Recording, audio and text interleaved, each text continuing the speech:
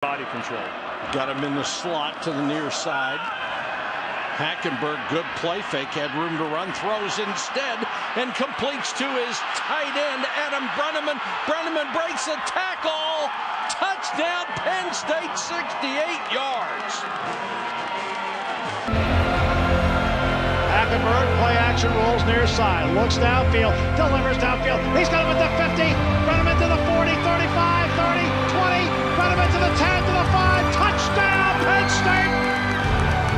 Hackenberg is so comfortable on that play action fake. He does a great job